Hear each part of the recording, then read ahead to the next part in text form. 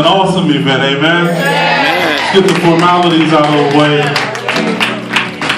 First of all, giving honor to God, who is the chief commanding officer in my life. Amen. Amen. And to the angels of this house, Pastor and First Lady Toussaint, co-pastor, amen? Amen. Like my second parents. Amen. And I, I mean in the natural. I mean like at her house eating her food. I mean, you know. I bring you greetings from True Word Apostolic Church of Corona under the pastorate of the Honorable District Elder, Dr. Lafayette Boyd. Amen. Amen. My name is Minister Tori Thomas.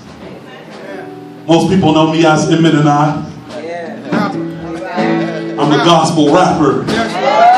I go by Mnni. It's nothing deep, y'all. Ain't that deep. It's just the letters M, N, N, I. And it's said together quickly. It means my name's not important. Mnni. How many people know there's only one name under heaven given among men whereby we must? Amen. Hallelujah.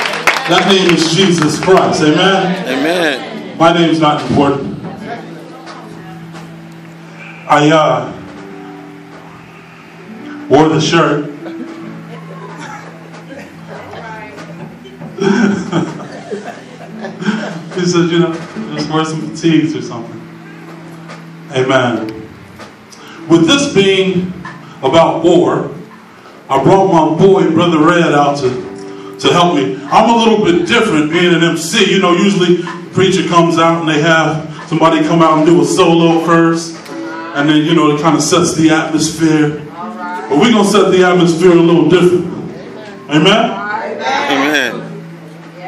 Where my young people? Where my young people at?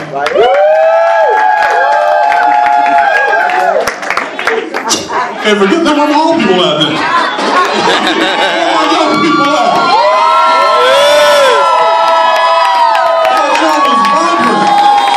Yes. All right, listen. If God hasn't done anything for you, I just want you to be quiet.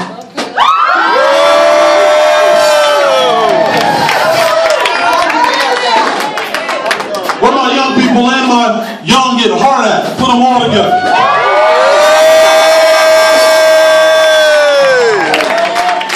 We're talking about going to war. Amen. Could you imagine if you were in the army or if you were in the Marines and you were in a foxhole in the middle of battle, it was combat and it was going down.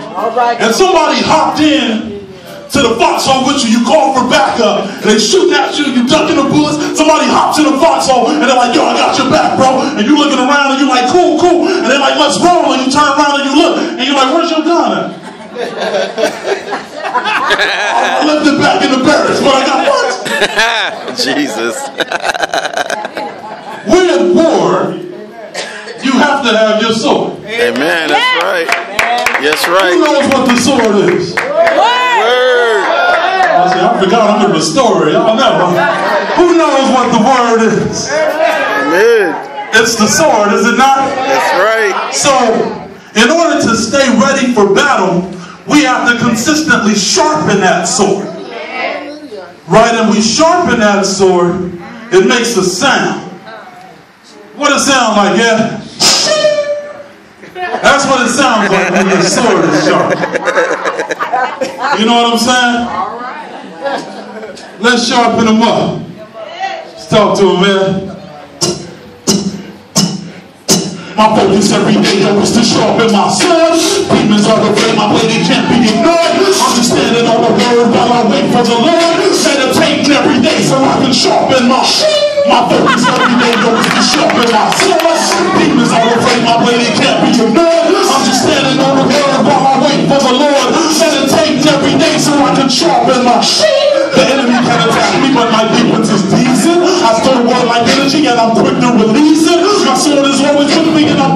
Unsheath it. No hesitation, no soon as they trip, it's like God's people and demons are not touching them. 66 quick lashes, look up and God's judging them. When they finally confess nothing's higher than his throne, it's their turn to burn in the fire and brimstone.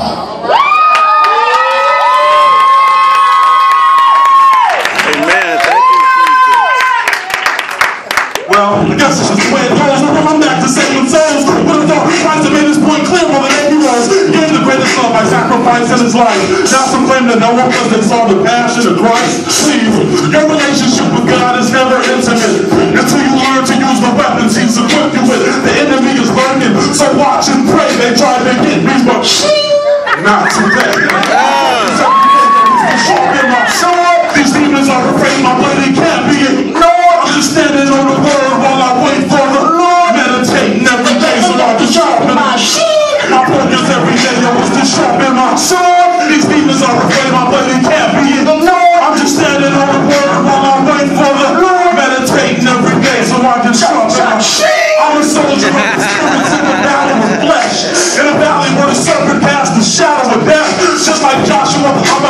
about put on his neck and give God the glory. Inventory check.